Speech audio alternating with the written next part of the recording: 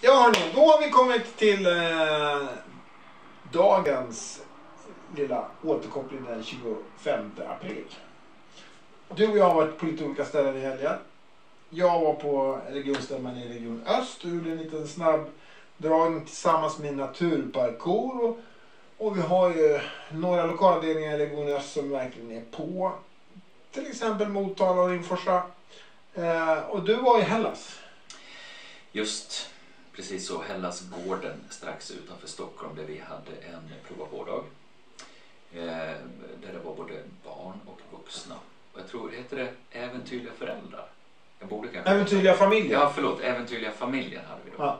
Just det. Eh, det höll vi på med. Väldigt lyckat. Väldigt kul.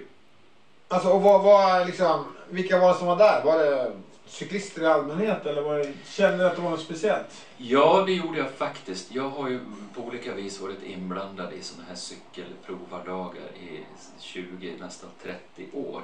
Fast då i det mer så kallade vanliga cykelsverige. Och då är det 90% grabbar och sen är det 10% tjejer.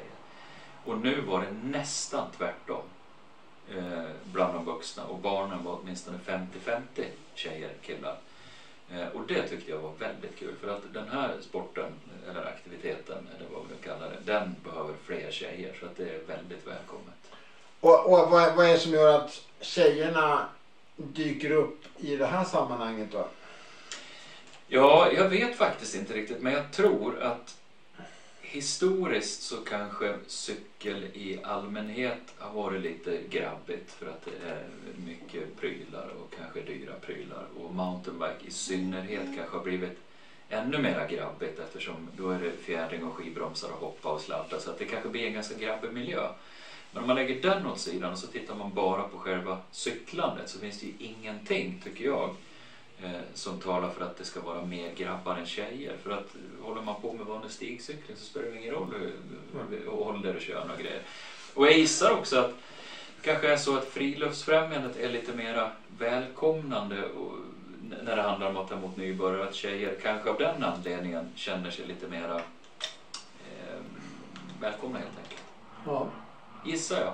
Oavsett vad det beror på så är det väldigt kul att se. För som sagt, fler tjejer, det vill vi ha. Ja, och det är ju någonting som vi jobbar starkt med i Friluftsfrämjandet. Mångfald av sig det gäller etnicitet, kön eller ålder. Alltså vi vill ju vara en spegel av samhället i Sverige. Och så det är ju kul att det kommer mycket fler tjejer där. Eh, så här innan vi eh, knäpper av det här så, så här.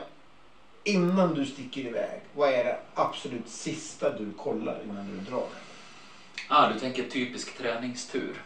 Ja, eller du kan cykla hit på onsdag morgon. Vad är det du kollar? Liksom så här, så här, ah, ah, vänta, det här måste jag kolla. Bra fråga. Eh, en gång har det faktiskt hänt mig att framhjulet har lossnat. Efter att jag själv då hade klantat mig med snabbkopplingen. Det var ganska många år sedan.